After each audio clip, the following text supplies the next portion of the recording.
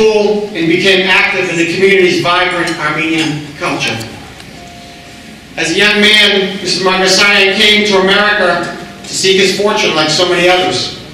And he found it by establishing the Nitron Corporation, which has grown to become a truly global enterprise and powerhouse in its field. With his wife Garcia, Toros is blessed with three children, Taline, Mark, and Gabriella, with whom he loves to share the wonders of his Armenian faith and heritage, passing on his devotion to the Armenian church and nation to his next generation.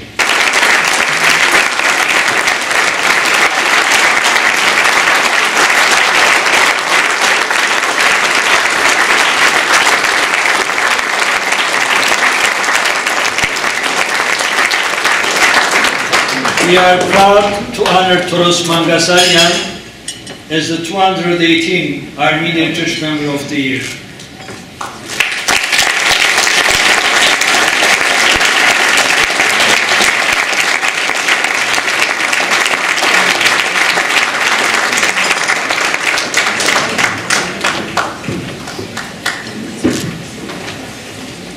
International Sebastian Hayek, Primate-elect Father Daniel Dikian, Commissioner Ajanabadi Pokemon Hayder, Mercury Balkamagorner, friends and family.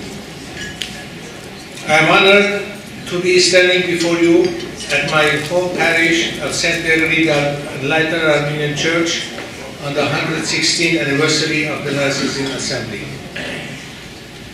St. Gregory's has been home to me and my family for over three decades, and I'm overwhelmed by the strength of the community we are surrounded with. Forty years ago, when I moved to Westchester County, we had no church and we were a handful of Armenians in the community.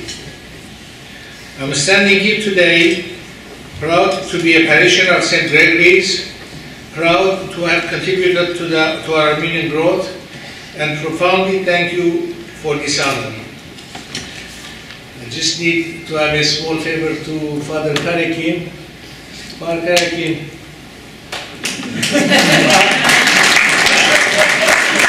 my, my Sunday attendance records.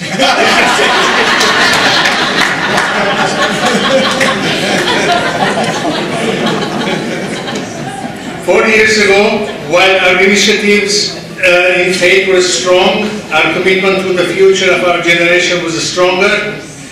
We set out to build a stronger Armenian community, and if you look around you, you will see our success. Our church is the foundation of the future generation, and it is my sincere hope that the torch will be passed on for the generations to come. Member of the Year means just that. One member, one year. The church member who celebrated today might be forgotten tomorrow. There is much we can never forget. The structures we have raised, the lessons we have learned, and all must be carried forward by the young generations of our community that joins us here today. As I accept this honor with a, great, uh, with a tremendous sense of gratitude, I would not be here without the support of my family, who remind me that the power of loving family can never be overcome. As a proud father, a proud Armenian, we must use our church family to continue to build an even better and stronger community, one we can all be proud of. Thank you very much. Bravo.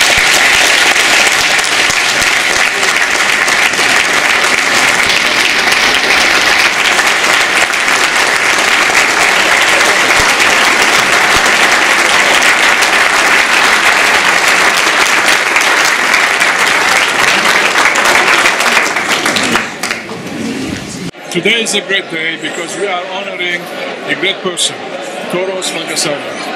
Toros is a long, long, long, long time friend of ours. When we came to the United States, he was already here, and he's the one who kind of like told us a few things. I have always respected him in the sense that not because he's a friend, but because he's a great human being, a great Armenian. His heart is a golden heart. He, he feels Armenian in all his body. And he is such a straightforward, generous man. He has always been very supportive of all activities in our church and in the diocese and also in Armenian causes. Any Armenian cause, you go to him, you say, you know what, we have a problem here. He says, how much? He doesn't tell you why and this and that. Toros, you're a great Armenian and you deserve this, this uh, medal because you are you have worked so hard in your life to help the Armenian cause in every way, either on the local way uh, or in the diocesan level or at the Armenian level. We thank you. God bless you. God gives you a long heart.